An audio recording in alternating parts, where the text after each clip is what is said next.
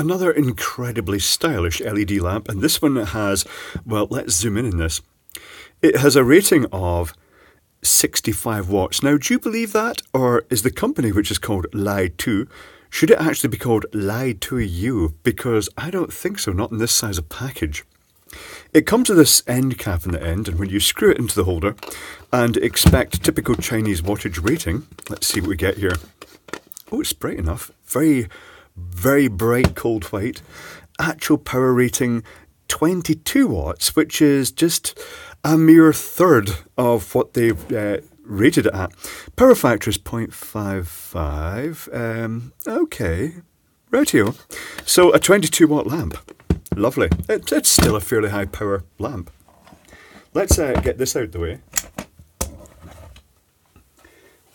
So I bought this on eBay, and normally I have the uh, paperwork associated with it, but it was a long time ago, couldn't find the paperwork.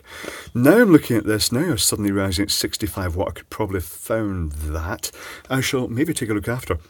But uh, let's open it up, and initially I'm thinking, because of the construction, the fact it's got a large flat panel of LEDs in the end here, presumably, I'm thinking it may be a, uh, one of those uh, driverless LED arrays. So let's uh, pop this cover off.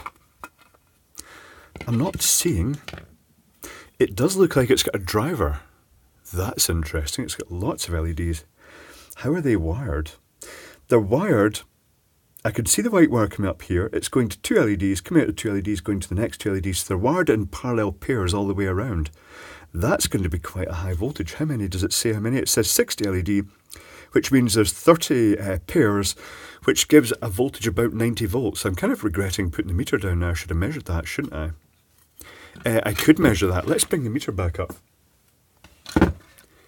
Let's uh, get that little bit of stuff off it. Uh, let's bring the socket back up, should I say.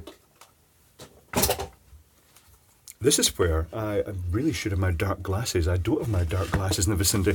Staring directly into very bright light bulbs gets very visually fatiguing after a while. I've completely Oh, there they are. There, I've found them. I've found my brazing shades.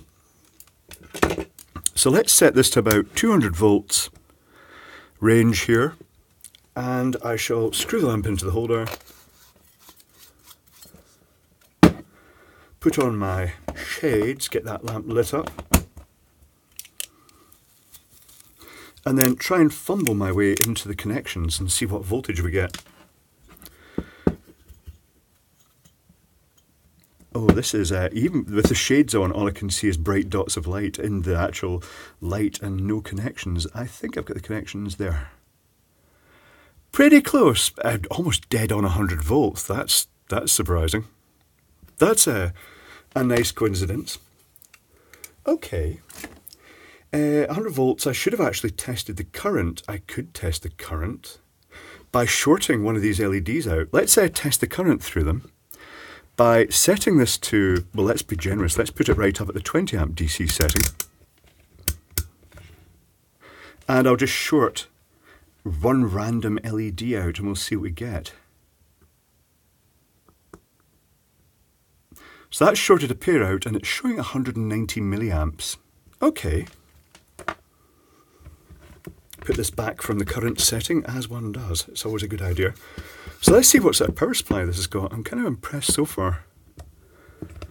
Put that to my favourite setting as well. Continuity, it's the one I almost always end up using. Construction. It's got this heatsink fin section. This is one of these lamps that it seems so wasteful because when you when it eventually fails and you know we just kind of know already that these LEDs will fail inside of. Having said that, the power rating isn't unreasonable for the large area of the heatsink, and the 100 and, that was 190 milliamps. That's about 100 milliamps per chip, but which you know is not really overdriving these LEDs. That's interesting. Does it actually say the rating? Uh, no, it doesn't. It's just because the diameter of the circuit board, type of LED, and the number of LED. Okay, so let's uh, get the back off and see what's inside it. That must mean there is a driver in the back. I wonder if it's just a bit of a, a circuit board with heat shrink sleeving around it, as it often is. I could brighten this up. I could completely ruin everything by over brightening it. I've probably ruined everything by over brightening, but anyway, it's done now. Oh, it's actually a full circuit board. I do like this housing. This is a, I was going to say, it, it's a machined, it does look like an extrusion, but it's textured. And it looks as though they've sliced it and then maybe machined it afterwards. Maybe they've rounded the edges off so it's less sharp, which is reasonable enough. And then they've put it onto this, which is a machined dish. I think that would be machined. I don't think it would be. I don't think it would be a spun uh, disc. I think it would be machined out of that. Not really sure. And that's uh, the circuit board is held on by these one, two, three screws, which go through this dish and into this heatsink assembly. It's got the three connect, uh, three uh, posts for the screws here, and then it matches with the three holes here. So this is glued in. It's got the let's say short that capacitor out first. Yeah, that, that's it dead. Let's see if we can get that out. Well, that wasn't too hard. So we've got the mains come in. There is a 400 volt 10 microfarad capacitor there is the ubiquitous little chip. Now I'm seeing an extra little capacitor here, so it's not one of the bright powery type chips. It might be, it might just be a different version for the higher current loads. It's got a bridge rectifier, the smoothing capacitor, the dedicated chip. It's got probably this uh, little capacitor here is the bootstrap capacitor for powering this. I would guess that it will have two. I'm completely wrong. It's it's actually that's uh, that's worth mentioning. This is a choke it's an inductor, it's not a transformer, so that those LEDs in the front are effectively live at mains voltage, the reference to the mains. So that means, let's uh, get the magnifier in. Let's see if we can read the number off this.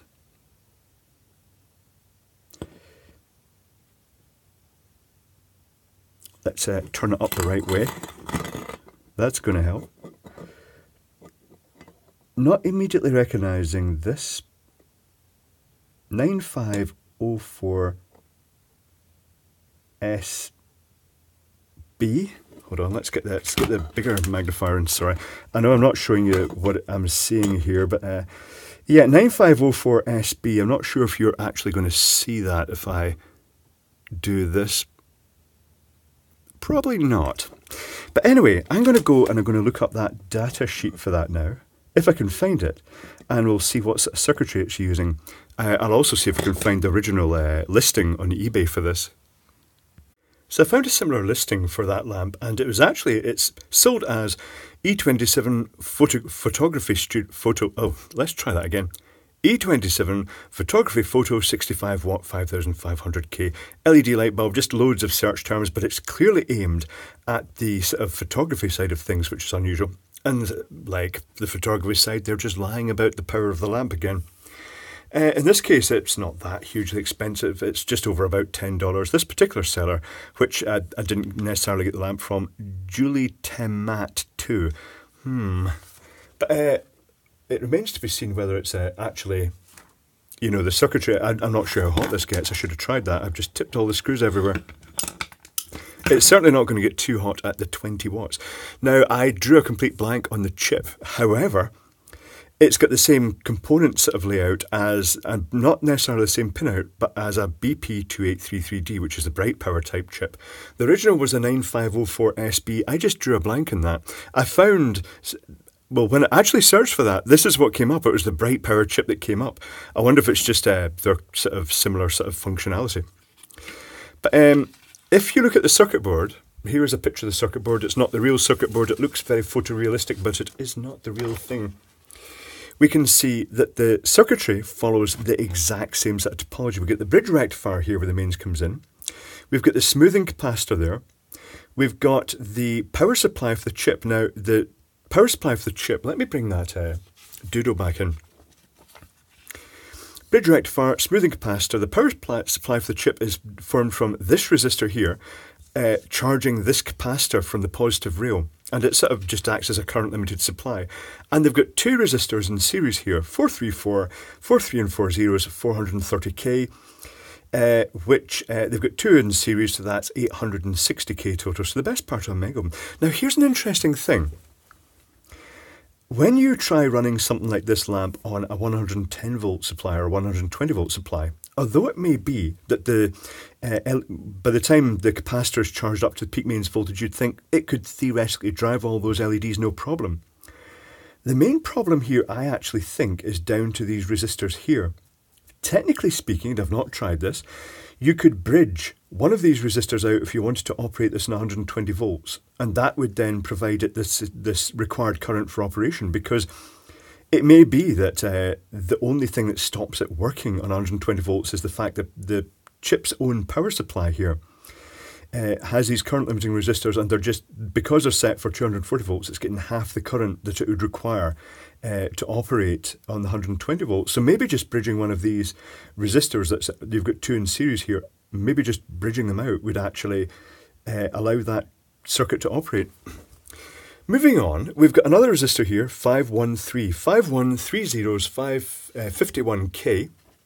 I'm guessing that's going to be the resistor for the overvoltage protect, and that's designed to protect when an overvoltage situation occurs or when you've got open circuit LEDs or, well, other stuff goes wrong. It's basically a little bit of protection. While I've got this in here, I'll also point out the you've got the current flowing through the circuit, uh, and it goes through the LEDs, through the inductor, and then it goes into the drain uh, of the integrated circuit, and then it comes out the current sense to the zero volt rail. And by measuring the voltage across this resistor, it can determine how much current's flowing.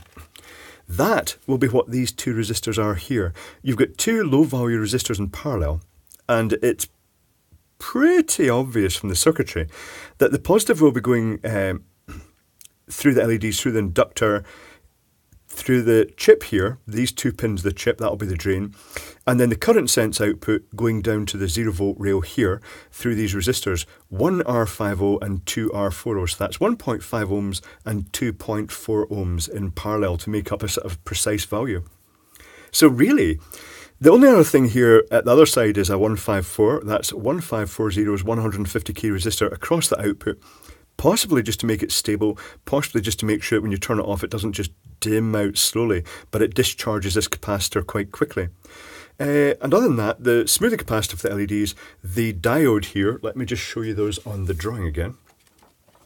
So that's this diode here, that's that smoothing capacitor here, the LED string which is actually on the uh, LED panel, and that is basically it. And when what actually happens here is that when the circuit's running, the MOSFET conducts, but the current flows through the LEDs, but because the inductor doesn't have a magnetic field built up in it yet, it resists the flow of current. So the current flows through the inductor, and once it reaches a certain threshold uh, sensed by this resistor, the MOSFET turns off, and the uh, magnetic field in here collapses. And because there's a diode here, and because of the polarity, it then drives the LEDs through that diode as well. So it operates in both parts of the cycle. It's very, very clever, very efficient. Um, and that's fundamentally it. So it's one of these uh, classic situations. They have sold this grossly overrated, saying it's you know 65 watts. It's actually about 20 watts. But other than that, the circuitry is quite nice, and it's actually not running the LEDs too hard. It does say in the listing that it's kind of almost hints at being continuously rated, which is quite good. Because um, I guess maybe there are photography lights like this that they just they're only designed for short term use, but that's always a bit of a disaster because you always end up leaving them on too long accidentally. And while the temptation would be there to pull the cover off this to actually get more light out it, because the diffusers tend to spread the light out, but they tend to, diff- well, diffuse the light basically and reduce it. You'd have to keep in mind that the circuit board is referenced directly to the mains, and it's another of these products that, you know, although it's not directly electrically aligned with the metal case, I'd allow for the fact that, you know, things like the power supply might drop down, might drop if the glue came on stuck. The circuit board could drop down into this metal housing, uh, and likewise, uh, I've seen some instances where the LEDs have failed and they've burnt, and they've actually burnt a hole through the fiberglass to the, the metal underneath. And this I can see from here, it is an aluminium core circuit board. So just uh, as always, these things, just never put them in while the power's on. It's always a good idea, not unless you're on an insulated surface and not touching anything else. But these are all random variables. But it's an interesting lamp. It's very stylish. It looks quite neat, and the circuitry is pretty much textbook. So all in all, it's quite an interesting lamp.